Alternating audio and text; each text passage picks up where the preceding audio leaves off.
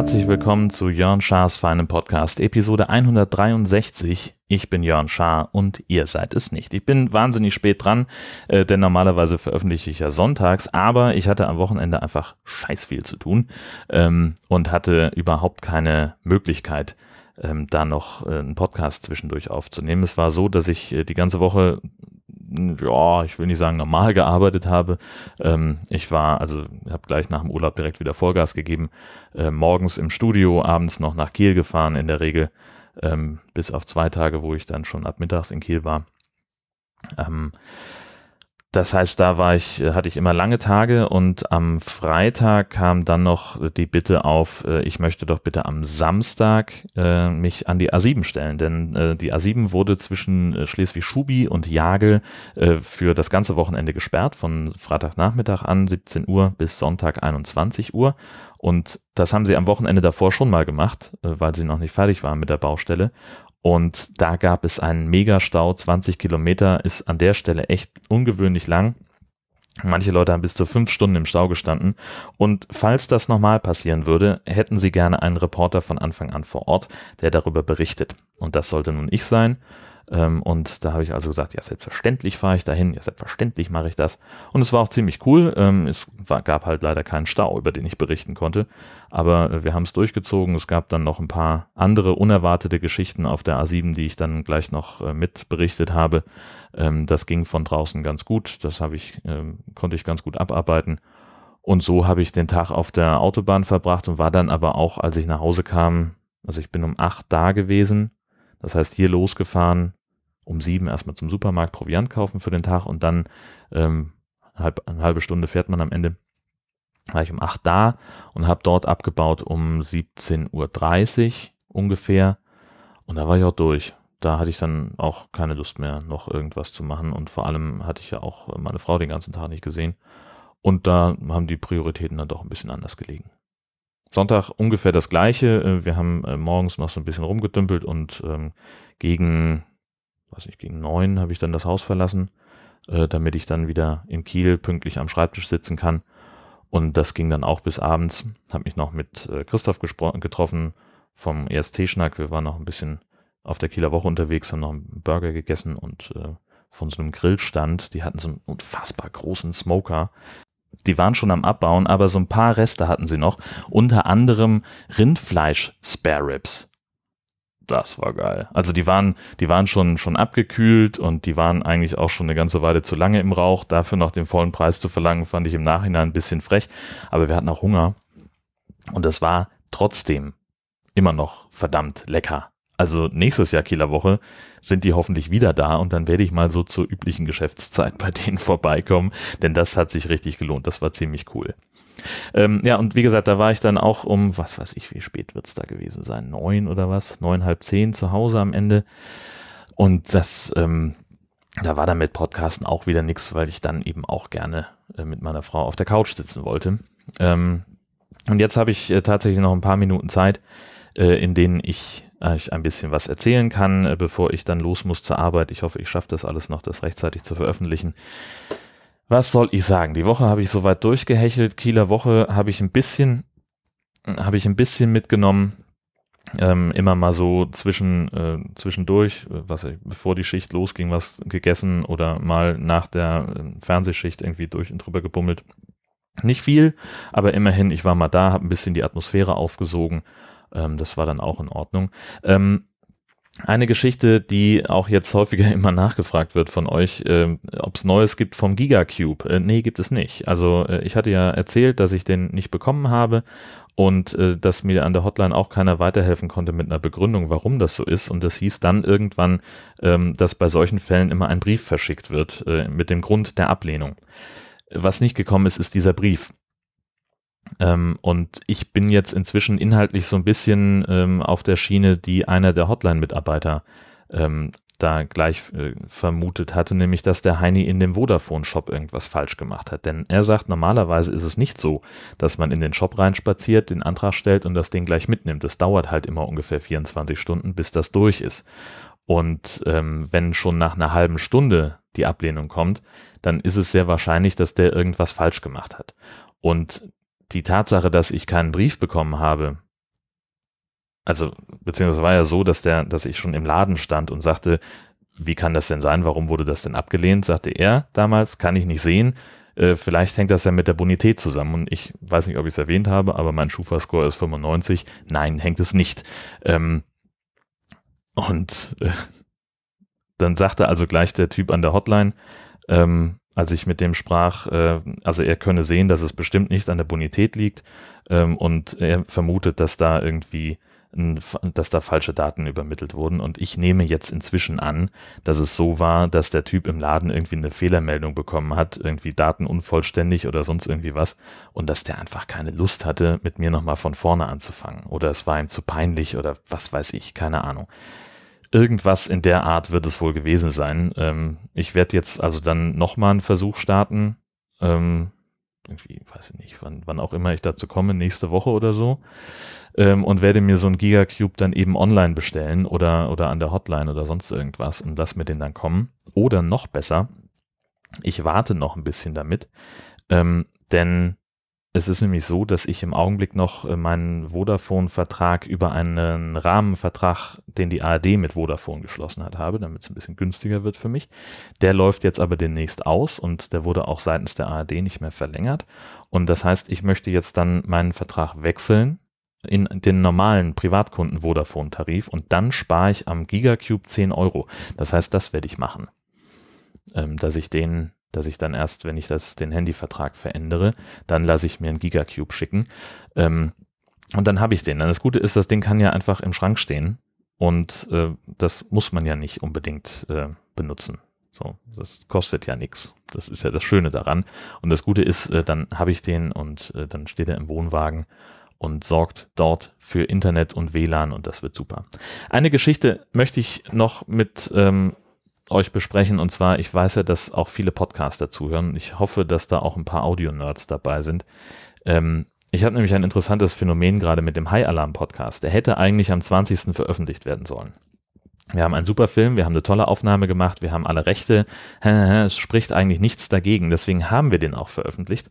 Und wenige äh, Stunden nach der Veröffentlichung meldet sich Björn bei mir vom Hobbyquerschnitt und sagt, Leute, irgendwie habt ihr da Lücken in der Aufnahme. Ja, kann gar nicht sein habe mir also, ähm, weil ich habe ja die Datei, ich habe das ja geschnitten so, ne? Wir haben das über Studio Link und Ultraschall aufgenommen und dann mache ich es immer so, weil ich die, die, die, den Schnitt bei Reaper und Ultraschall immer noch wahnsinnig kompliziert und unübersichtlich finde. Ich exportiere mir den Scheiß und schneide das in Audacity. So, könnt ihr jetzt halten, was ihr wollt von. Ich lasse mir da gerne irgendwie mal zeigen, wie das besser geht, aber jetzt im Augenblick ist das das, was für mich am besten funktioniert. Ähm, und da weiß ich, waren keine Lücken drin. So. Dann habe ich im ersten Moment gedacht, so scheiße, hast du jetzt etwa ähm, die Spur mit den O-Tönen nicht, nicht rübergeschickt. Kann aber eigentlich auch nicht sein, habe ich gedacht, denn das hätte ich gesehen eigentlich, weil dann wären ähm, nee, nee, gut, das hätte ich nicht gesehen. Wenn ich, äh, ne, es gibt bei, bei Auphonic ja die Möglichkeit, Multitrack, sorry für alle, die nichts mit Podcasting selber aktiv zu tun haben, das ist jetzt super technisch, aber es ist gut zum Einschlafen mit Sicherheit. Also, es gibt bei Auphonic die Möglichkeit, so eine Mehrspurgeschichte zu machen. Das heißt, ich habe eine Datei, wo nur mein, meine Sprache drin ist, dann eine Datei, wo nur Bennys Sprache drin ist und eine weitere Datei, wo die ganzen O-Töne drin sind. Das hilft Auphonic dabei, ähm, die Lautstärkeverhältnisse zu berechnen so, das ist dann einfacher für den Algorithmus.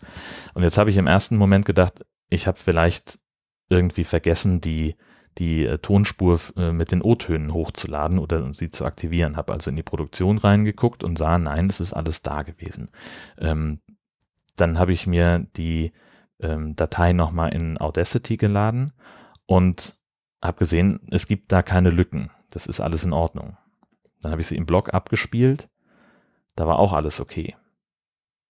Und ich dachte, das gibt's auch gar nicht. Wie kann das denn sein? Wo sollen denn da Lücken herkommen?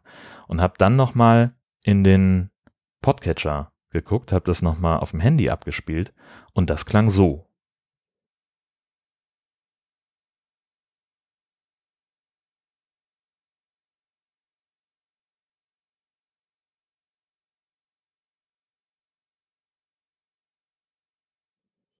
Und habe ich hier nochmal eine zweite Stelle, wo es noch ein bisschen deutlicher wird.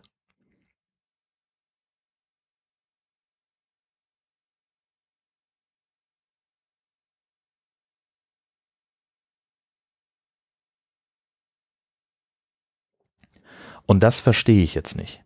Ich kann nicht nachvollziehen, intellektuell, wie es dazu kommt.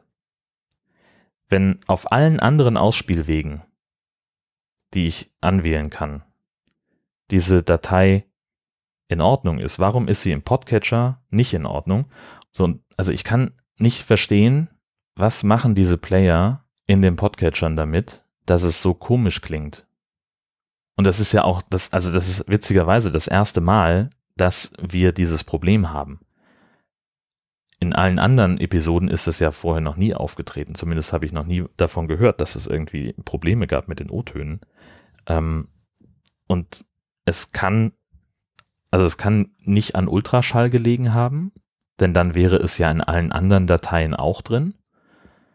Ich habe sogar übrigens versucht, äh, das äh, mit dem, mit dem, ähm, mit einem anderen Audioplayer auf, ähm, auf meinem Handy abzuspielen, wo ich mir also die Datei aus der Dropbox geladen habe äh, und habe es dann nochmal abgespielt. Das war auch einwandfrei. Also es liegt wirklich eingrenzbar nur an den, an den beiden Podcast-Apps, also meiner und an der von Björn. Ich weiß gerade aus dem Kopf gar nicht, was der benutzt. Ähm, wenn da irgendjemand eine Idee hat, eine Lösung hat, äh, ich bin mit meinem Latein am Ende. Ich weiß auch nicht, was ich noch machen kann. Ähm, weil die, die Produktion an sich, das ist ja in Ordnung. Da ist ja nichts Fehlerhaftes dran. Also ich habe, sonst hätte ich ja das gleiche Problem schon in Audacity sehen müssen, nachdem ich sie mir jetzt die fertige Datei, die von Auphonic kam, reingeladen habe. Dann hätte ich da ja irgendwas sehen sollen. Ähm, ich habe auch schon mal im, im Studio geguckt, es gibt auch keinen Phasendreher in der Datei, dass man jetzt irgendwie sagen könnte, da ist irgendwas ähm, verbuchselt und so komisch, dass es halt, also man, es gibt zum Beispiel so den, den Fall, ähm, warte mal, doch, das kann sein, dass es ein Phasendreher ist. Denn ich lasse mich ja Warte mal.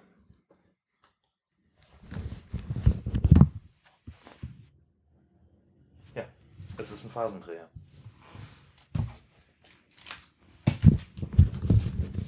Ja, es ist ein Phasendreher. Jetzt haben wir es. Ich habe gerade noch mal, das ist jetzt ein bisschen verwirrend. Ähm, ich hatte gerade einen Geistesblitz, als ich nämlich das Wort Phasendreher in den Mund genommen habe. Ähm, ich kann es nicht erklären, was ein Phasendreher ist. Leider. Ich werde versuchen, das irgendwo zu finden und es in den Show Notes zu verlinken. Aber ähm, wenn man bei einem Audio die Phase verdreht, die, nee, ich kann dann, also wenn, wenn es diesen Phasendreher gibt, dann ist das Audio auf Mono-Geräten häufig nicht mehr zu hören. Und ähm, weil das hatte ich mal äh, in, einer, in einer Produktion, ich habe ja früher mal Radiowerbung produziert und ähm, wenn zu viele ähm, Produktionen waren, dann habe ich äh, es immer so gemacht, dass ich den, ähm, da hatte ich einen, einen, Kollegen, einen alten Bekannten, äh, an den ich Sachen abgegeben habe. Und in irgendeinem ähm, Spot sollte ähm, auf, sollte ein, ein Telefoneffekt auf einer Stimme liegen. Äh, normalerweise, also ich habe es immer so gemacht, äh, ich mache das mal schnell, ähm, dass ich einfach die Höhen drin gelassen habe und Mitten und Tiefen rausgenommen habe und dann klingt es sehr nach Telefon. Und mein Kollege hat es damals so gemacht, dass er einfach die Phase verdreht hat von diesem Teil Audio. Ich kann es leider nicht besser erklären. Ähm, und dann klingt das auch wie ein Telefoneffekt. Allerdings bringt das den Nebeneffekt mit, dass es auf Mono-Geräten nicht mehr, dann, dann, ist es nicht mehr zu hören. Und äh, das habe ich zum Glück damals ähm, habe ich die Angewohnheit gehabt, eben äh, Sachen auch nochmal durch ein, ein Mono-Gerät äh, laufen zu lassen. Ähm, zwar ist Stereo seit, seit irgendwie seit den 60er Jahren Standard im Radio, aber trotzdem gibt es ja genug Leute, die irgendwie so einen Küchenbrüllwürfel haben, so ein kleines Küchenradio, was nur einen Lautsprecher hat. Und auf diesen Geräten läuft es dann nicht. Was ich jetzt, und das ist mir eingefallen, gerade vor 30 Sekunden, als ich drüber sprach und habe in meine Podcatcher-App geguckt. AntennaPod bietet die Möglichkeit, ähm, Podcasts in der Ausgabe auf Mono runterzumischen. Das ist dann gut, ähm, was manche Gesprächspodcasts machen das, dass die irgendwie äh, den einen Sprecher mehr nach rechts im Stereospektrum stellen, den anderen Sprecher mehr nach links im Stereospektrum. Ähm, und dann ist es so ein Hin und Her. Das nervt mich meistens und deswegen lasse ich das auf Mono runtermischen. Und deswegen habe ich den gleichen Effekt, dass ich das eben hier nicht hören kann. Und das wird auch bei Björn das Problem sein. Ähm, das heißt, wir haben tatsächlich in der, in der Produktion der O-Töne einen technischen Fehler drin gehabt. Den müssen wir jetzt mal finden ähm, und das fürs nächste Mal ausbügeln und dann haben wir es. Aber das ist heftig. Das ähm, habe ich noch nie.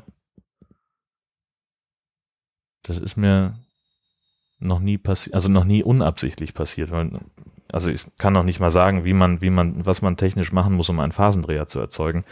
Da hoffe ich einfach mal auf äh, darauf, dass jetzt hier ein, ein zwei Audio-Nerds äh, mithören. Ähm, die sich da besser auskennen mit, mit äh, Tontechnik als ich. Ähm, denn wie so häufig, ich kann das Zeug benutzen, aber ich kann es nicht erklären. Gut, ähm, das war's. Vielen Dank für diesen, äh, für, äh, dass, dass ihr zugehört habt und ähm, ja, ich bin gerade, äh, ich finde es gerade total gut, dass ich diese, diese Idee jetzt hatte, wie, wie, wie Podcasting doch, doch weiterhilft, auch im Leben. So, dann hat man noch was Eigenes. so ein bisschen Jodeldiplom-mäßig. Nee, alles klar. Ähm, das soll es an der Stelle gewesen sein. Ich muss mich jetzt beeilen, dass ich das hier ähm, noch rechtzeitig veröffentlicht kriege, denn in ungefähr einer halben Stunde muss ich das Haus verlassen. Das heißt, wenn ihr diesen Podcast äh, noch am Vormittag hört, dann habe ich es geschafft. Falls der erst am Nachmittag bei euch aufschlägt oder gar am frühen Abend, dann hat es nicht mehr geklappt. So könnt ihr es schon mal rausfinden. Vielen Dank, wie gesagt, fürs Zuhören. Ich wünsche euch eine fantastische Restwoche und wenn alles nach Plan läuft, dann hören wir uns am Sonntag wieder. Drückt mir die Daumen. Tschüss.